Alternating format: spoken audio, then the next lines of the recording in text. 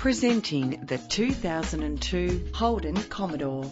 This is the vehicle you've been looking for.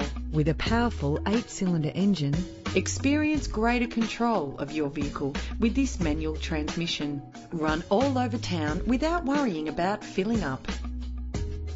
plus enjoy these notable features that are included in this ride. Cruise control, central locking, power windows, an alarm system, a CD player, an adjustable tilt steering wheel, ventilated disc brakes. Premium wheels give a more luxurious look.